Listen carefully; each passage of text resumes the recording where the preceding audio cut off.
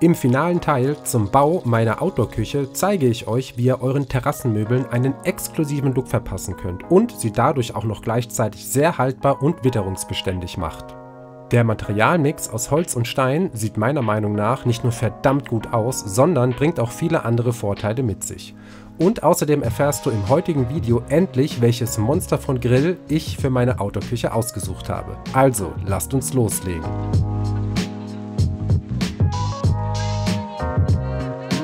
Für so ein Großprojekt bin ich froh, einen Partner an meiner Seite zu haben, bei dem ich wirklich alles bekomme, was man für so ein XXL-Vorhaben benötigt. So gut wie alle Materialien, die ihr heute seht, habe ich mir beim Hornbach Baumarkt besorgt, der auch der Partner des heutigen Projekts ist. Nachdem ich alle Holzarbeiten abgeschlossen hatte, war das Streichen dran. Bei diesem Arbeitsschritt könnt ihr eurer Konstruktion ein gewaltiges Plus an Langlebigkeit verschaffen, indem ihr eine hochwertige Lasur für den Außenbereich nehmt. Welche genau ich verwende, werde ich euch als Link unten in die Videobeschreibung legen. Die Anzahl der Anstriche ist ebenso entscheidend. Insgesamt trage ich drei Farbschichten auf im Abstand von jeweils 12 Stunden. Noch ein Tick besser wäre es gewesen, wenn ich alle Einzelteile schon vor der Montage gestrichen hätte, aber darauf habe ich verzichtet, weil es zum einen viel mehr Arbeit gewesen wäre und zum anderen hätte ich gar nicht gewusst, wo ich so viele Einzelteile trocknen sollte. So geht's auf jeden Fall auch. Als Kontrast zu dem dunklen Unterbau hatte ich mir als Arbeitsoberfläche was wirklich Cooles überlegt und vor allem auch was sehr witterungsbeständiges.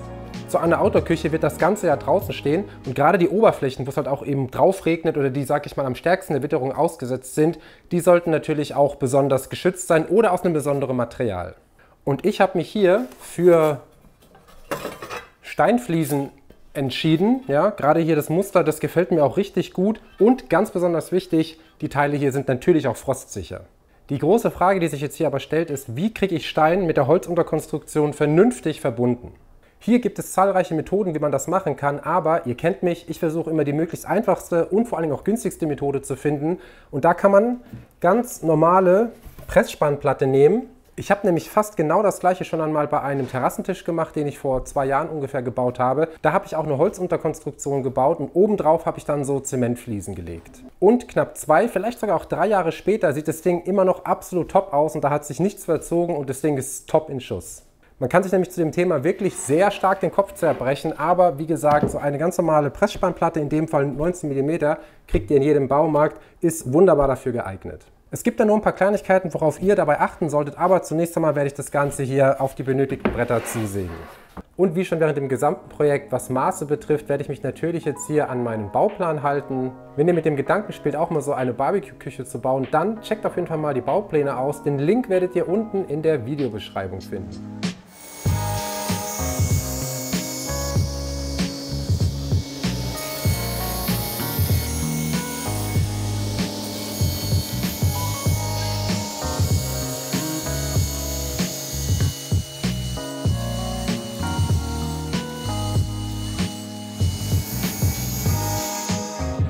Einzelnen Bretter verschraube ich mit Edelstahlschrauben und trage zusätzlich Holzleim auf. Achtet darauf, mindestens D3-Leim zu verwenden, da dieser auch wasserfest ist und für den Außenbereich geeignet.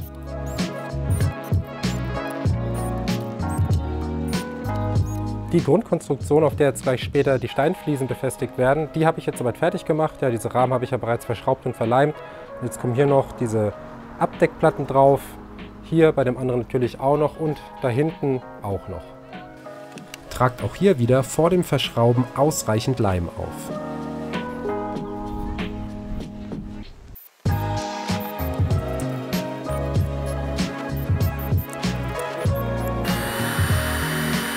Jetzt sind soweit alle Verschalungen fertig und ich muss jetzt hier noch ähm, später darauf achten, dass hier diese offenliegenden Kanten auch wirklich alle versiegelt sind. Später kommen hier wie gesagt Steinfliesen drauf, da kommt auch noch eine Spezialgrundierung.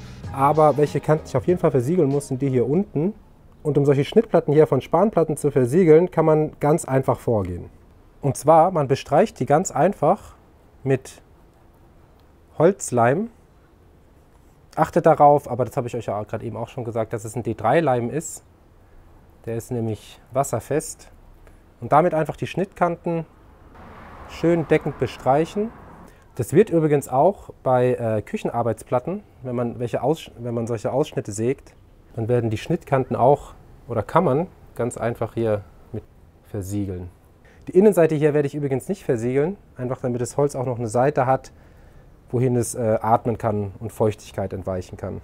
Beim Grillmodul kommt jetzt auch hierhin noch so eine Steinfläche. Hier werde ich allerdings ein bisschen anders vorgehen, denn diese Steinfläche braucht so eine kleine Umrandung. Und diese Umrandung werde ich mir jetzt noch aus ein paar Reststücken von der äh, Lerche hier zusägen, also von diesen Rhombusleisten. Und dann später auch so eine Spanplatte dort drin einlassen. Die vier Teile hier für den Rahmen, die habe ich mir sehr passgenau angefertigt. Die sollen hier nämlich exakt in diese Aussparung passen. Die vier Leisten werde ich vor der Montage auf jeden Fall noch streichen, aber ich werde mir jetzt schon einmal die Bohrpunkte setzen, wo dann später das Ganze verschraubt wird.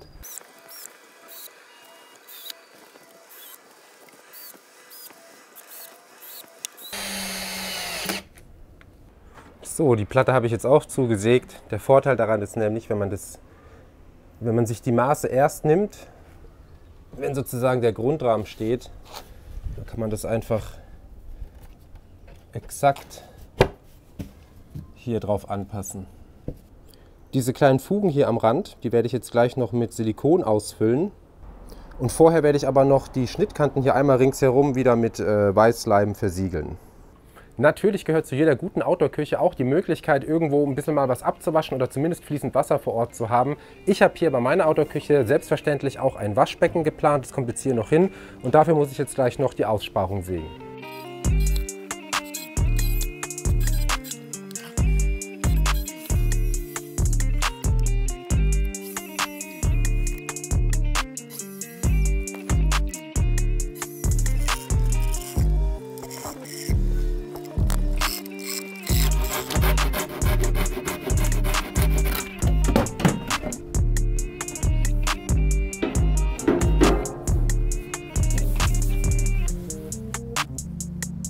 Natürlich werde ich diese Schnittkanten hier auch wieder mit Weißleim versiegeln.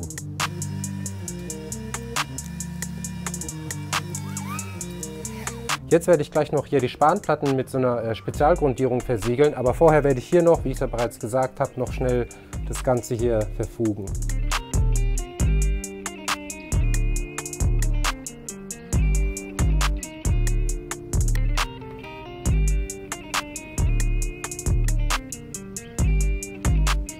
Um jetzt hier gleich die Steinfliesen drauf verlegen zu können, muss ich die Spanplatten aber vorher noch kurz behandeln und zwar mit so einer Spezialwand, äh, ja, die eben genau für solche äh, Anwendungsfälle gemacht ist. Welche ich hier genau verwende, werde ich euch unten in die Videobeschreibung legen und auftragen werde ich das Ganze mit einem ganz normalen Pinsel.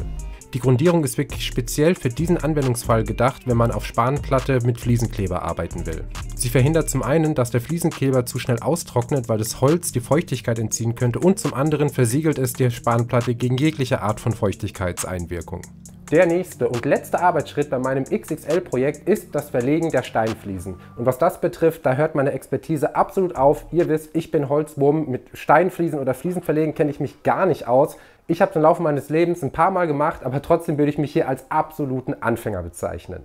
Und genau deswegen habe ich im Vorfeld jetzt schon mal ein paar Methoden ausprobiert, mit denen man Steinfliesen am besten bearbeiten kann bzw. zuschneiden. Es gibt hier, hier, wie ihr sehen könnt, ja so, so einen Fliesenschneider. Ja, ich habe es ausprobiert. Das funktioniert nur bedingt, aber dann bei größeren oder längeren Schnitten hat das Ganze wirklich absolut nicht gepasst und mir sind da echt die Fliesen reihenweise gebrochen. Dann habe ich das Ganze noch versucht mit der Flex zu machen. Das generelle Problem daran ist einfach, ja, ich muss lange gerade Schnitte machen und mit dem Winkelschleifer ging das wirklich auch. Also zumindest ich habe es absolut nicht hingekriegt. Und genau aus diesem Grund kann ich euch an der Stelle nur empfehlen, ja, dass ihr euch für solche Arbeitsschritte definitiv das passende Werkzeug holt. Ja. Ich wollte jetzt nicht nochmal extra Geld ausgeben und mir extra dafür eine Maschine kaufen. Deswegen bin ich einfach nochmal schnell zum Hornbach rüber gehüpft und habe mir dort eine passende Maschine einfach ausgeliehen. Und so sieht so ein gutes Stück aus. Ich habe auch schon mal ein paar Probeschnitte gemacht. Ich will euch nämlich mal ganz schnell was zeigen. Ich hatte nämlich vorhin schon einmal mit dem Fliesenschneider ja hier so ein bisschen die Kanten gebrochen, so angeritzt. Ja, das Ganze hat eigentlich ganz gut funktioniert, ja, aber die Kanten hier sind nicht wirklich sauber und deswegen werde ich jetzt die zunächst einmal ganz kurz hier mit der Säge nacharbeiten.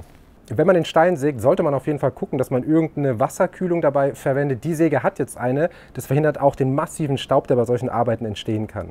Vielleicht kennt ihr solche Unterflurkappsägen. Ähm, ich werde euch mal ein Bild einblenden. So ähnlich funktioniert das Ganze hier auch. Ich habe hier einen Winkelanschlag, kann das alles genau einstellen. Also wirklich eigentlich wie bei der Holzbearbeitung. So, genug geredet. Lass uns das Ding mal hier kurz bearbeiten.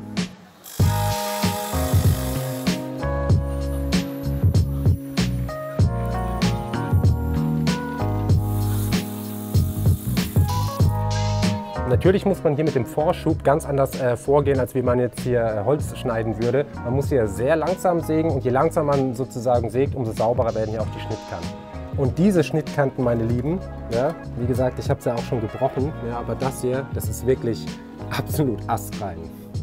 Und genau jetzt kommt nämlich der Vorteil raus, wenn man so eine Steinsäge hat, dass man die Platten einfach exakt zusägen kann. Leute, ich sag's euch, das ist quasi ein Traum.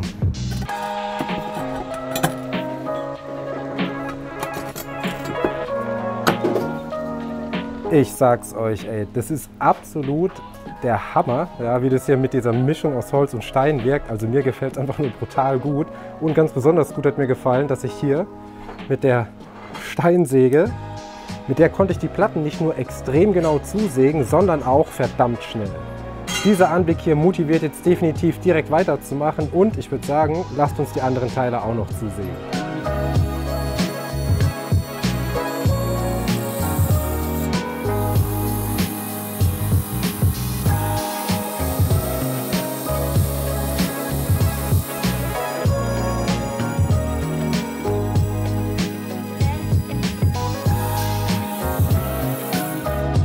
Hier, diese Fläche war noch relativ einfach, beziehungsweise der einfachste Teil vom Verlegen der, der Steinfliesen an meiner Outdoor-Küche. Hier diese ganzen Ränder, da werde ich jetzt etwas anders vorgehen müssen, denn um hier schöne Kanten hinzukriegen, werde ich die ganzen Kanten hier nämlich, beziehungsweise die Stoßkanten, alle auf Gärung schneiden. Es gibt ja auch die Variante, das Ganze einfach mit stumpfen Eckverbindungen zu machen, sieht aber lange nicht so schön aus und deswegen will ich jetzt einfach mal, da ich ja auch das entsprechende Gerät dafür habe, das mal auf diese Art und Weise versuchen. Jeder, der allerdings schon mal Gärungen geschnitten hat, weiß, ja gerade hier, ja das sind ja dann an mehr, mehreren äh, äh, Seiten müssen dann die Gärungen rein, das kann ganz schön aufwendig und kompliziert werden, deswegen lasst es uns einfach mal versuchen.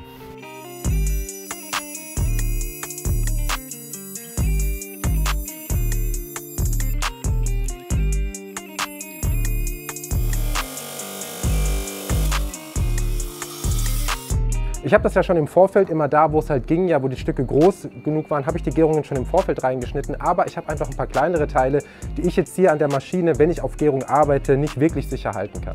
Und hier mache ich es genauso wie an der Tischkreissäge in der Holzbearbeitung. Ich habe mir jetzt hier so eine kleine Sägelade gebaut, in die ich jetzt die kleineren Teile einspannen kann. Ich habe die Vorrichtung hier auch aus Siebdruckplatte gebaut, einfach weil das Ganze hier wirklich sehr, sehr nass wird und damit es hier ähm, möglichst haltbar ist. Die Teile kommen hier oben drauf, werden hier einfach reingelegt. Dann habe ich hier die Säge, die hier dann entlang fährt. Dieses Brett befindet sich natürlich genau auf 45 Grad und wenn ich dann hier so über ähm, die Fliese drüber gehe, kann ich dann dort, wo ich es brauche, eine Gärung reinsägen. Ich habe das Ganze auch mit Schraubzwingen hier unten an der Maschine befestigt, um jetzt auch noch dieses Stück hier an der Vorrichtung zu befestigen. Nehme ich mir einfach so zwei Klemmzwingen. Damit ist das Teil ja auch wirklich sicher fixiert. Und jetzt kann ich anfangen, auf diese Art und Weise die restlichen Teile zu bearbeiten.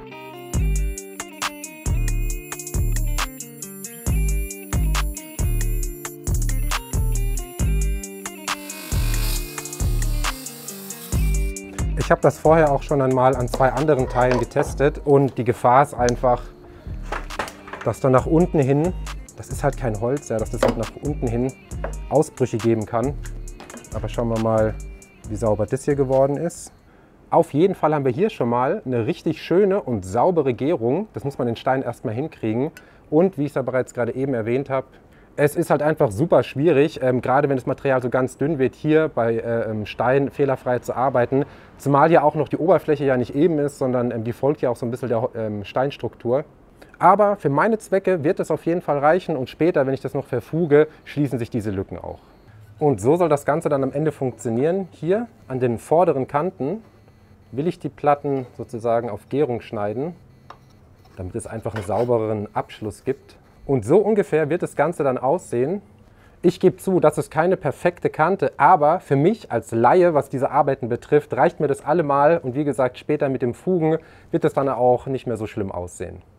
Ihr kennt meinen Kanal, ihr kennt meine Arbeit. Ich bin ein absoluter Holzwurm und es ist mir schon schwer genug gefallen, euch irgendwelche Tipps hier fürs Steine schneiden mit auf den Weg zu geben. Aber beim Verlegen von Steinfliesen, ja, also ich bin kein Fliesenleger und ich erhebe hier auch nicht den Anspruch, euch da irgendwelche Tipps mit auf den Weg geben zu können. Ich habe mir dazu ein sehr cooles Video vom Hornbach angeguckt, da wo das einfach erklärt wird, die einzelnen Arbeitsschritte. Ich werde euch die Videos mal unten in die Videobeschreibung verlegen. Also, wenn ihr das mal vorhabt, dann schaut euch das auf jeden Fall an. Ich lege jetzt hier auf jeden Fall mal direkt los und werde jetzt zunächst einmal anfangen hier mit den Seitenteilen überall und dann später die äh, Oberflächen hier anbringen.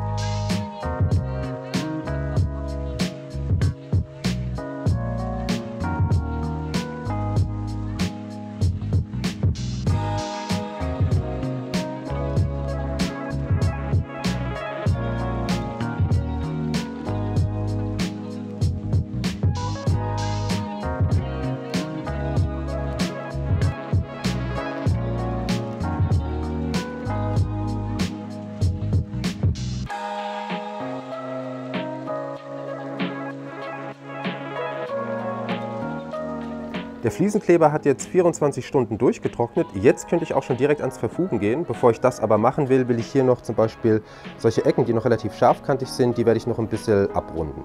Und solche Feinarbeiten kann man mit einem ganz einfachen Exzenterschleifer und Holzschleifpapier machen. Ich habe hier ein sehr grobes drauf, ich glaube das ist jetzt 80er. Die Schleifscheibe wird danach wahrscheinlich kaputt sein, aber was soll's.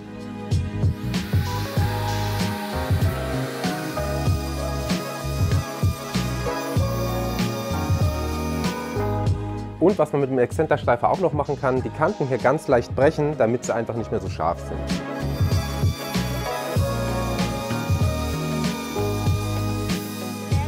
Zu guter Letzt habe ich dann alles noch verfugt. Dieser Arbeitsschritt ist nicht wirklich kompliziert und im Gegensatz zum Fliesenverlegen wirklich ein Kinderspiel. Jetzt, ungefähr 24 Stunden später, ist der Fugenmörtel auch soweit ausgehärtet und, das ist für mich zumindest immer so eine kleine Lotterie vorher, ja, was für eine Farbe man da nimmt ja für die Fuge.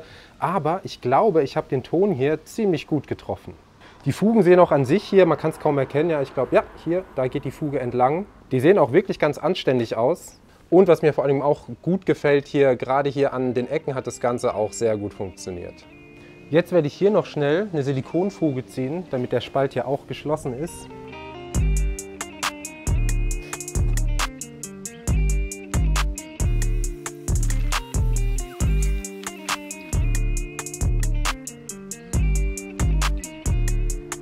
Allerletzten Schritt, bevor wir endlich zu mir nach Hause springen können und final den Grill hier auch einbauen, müssen hier noch die Rückwände dran. Da habe ich mir auch vorher so ein paar Gedanken gemacht, aber das Coole ist, im Hornbach gab es nämlich ähm, von solchen Siebdruckplatten hier 3 mm dünne und da war ich echt froh drüber, denn die sind jetzt für diesen Anwendungszweck hier wirklich perfekt geeignet.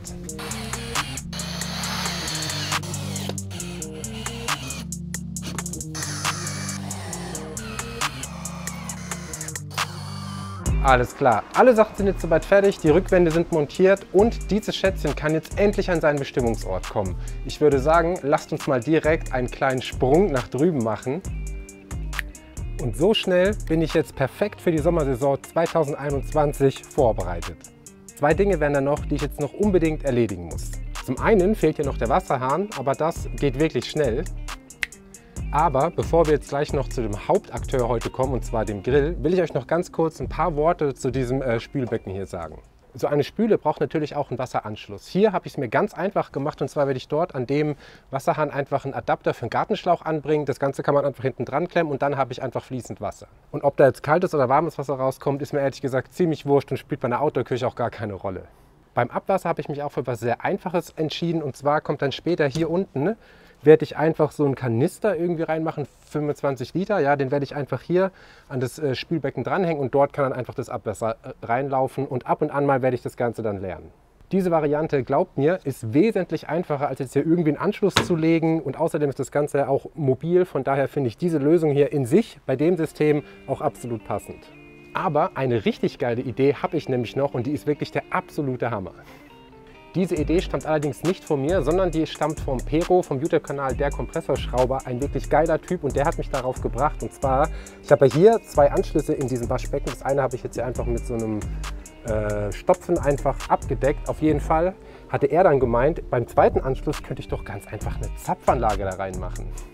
Ja, wirklich. Einfach hier mache ich so einen Bierzapfhahn rein und da unten mache ich dann noch so eine kleine Zapfanlage und dann hat man hier bei der Outdoor-Küche wirklich alles, was man dafür braucht.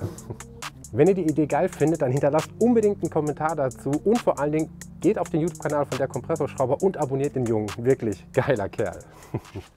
Wie ihr es ja im Video gesehen habt, ich habe die gesamte Konstruktion hier wirklich maximal gegen die Witterung geschützt. Und ich bin mir ziemlich sicher, selbst wenn ich diese Autoküche hier nicht abdecken würde, würde sie noch Ewigkeiten halten. Aber nur um die Stabilität geht es leider auch nicht, denn das Ganze soll ja auch noch möglichst lang schön aussehen. Und da werde ich wohl um eine Abdeckung im Herbst und Winter mit irgendeiner Plane nicht drumherum kommen. Und wenn euch das Projekt bisher auch schon super gut gefallen hat und du dich sogar für die Baupläne davon interessierst, den Link dazu wirst du unten in der Videobeschreibung finden. Ebenso wie eine Auflistung von allen Materialien, die ich jetzt bei diesem Bau hier verwendet habe. So, aber ich glaube, jetzt habe ich euch lange genug auf die Folter gespannt. Lasst uns meiner Autoküche jetzt wirklich die Krone aufsetzen und den Grill hier einlassen. Und ich würde sagen, am schnellsten geht das Ganze so. Ich präsentiere euch den passenden XXL-Grill zu meiner XXL-Outdoor-Küche. Ich habe das im Laufe des Baus schon öfter mal angeteasert, dass der Grill, den ich da reinbaue, wirklich ein Monster sein wird. Und ich glaube, ich habe nicht übertrieben. Aber wenn wir mal ehrlich sind, wenn, dann machen wir das Ganze richtig. Oder wie ich sagen würde, go big or go home. Ich verwende hier einen Halo TG4 von Tennecker. Und zwar ist das ein Gasgrill mit vier Brenneinheiten. Dieses Teil ist wirklich ein richtiger Brecher und laut Angaben kann man hier für bis zu 16 Personen grillen. Und das ist auch absolut genau mein Ding, denn ich bin ja totaler Familienmensch und liebe es, wenn Freunde und Familie vorbeikommen. Und ab jetzt muss auch keiner mehr auf sein Essen warten, denn Platz ist hier definitiv genug. Und für die Grillfans unter euch, wenn ihr euch genauer für diesen Grill hier interessiert, einen Link zu dem Teil werde ich euch unten in die Videobeschreibung legen. Aber welches Feature mir direkt von Anfang an total gefallen hat, war diese Glasscheibe hier, mit der man einfach in den Grillraum reingucken kann. Und ja, ich bin mir durchaus bewusst, dass so ein Grill hier äh, mit so einer Glasscheibe durchaus mehr Pflege bedarf als ein normaler Grill, aber das wusste ich ja schon vorher und das nehme ich gerne in Kauf. Hier im unteren Bereich habe ich das Ganze auch so geplant, dass die Gasflasche exakt da reinpasst. Ich muss jetzt noch lediglich hinten in die Rückwand ein Loch reinbohren, damit ich den Gasschlauch da unten reinfehlen kann. Mir hat der Bau wirklich super viel Spaß gemacht und wie immer habe ich eine Menge neue Sachen und Techniken gelernt. Mit dem Ergebnis bin ich wirklich sehr zufrieden und werde alle Vorkehrungen treffen, damit diese exklusive Outdoor-Küche noch lange in diesem Glanz erstrahlt. Ich bedanke mich auch herzlich bei Hornbach, die mich bei diesem XXL-Projekt unterstützt und es erst möglich gemacht haben.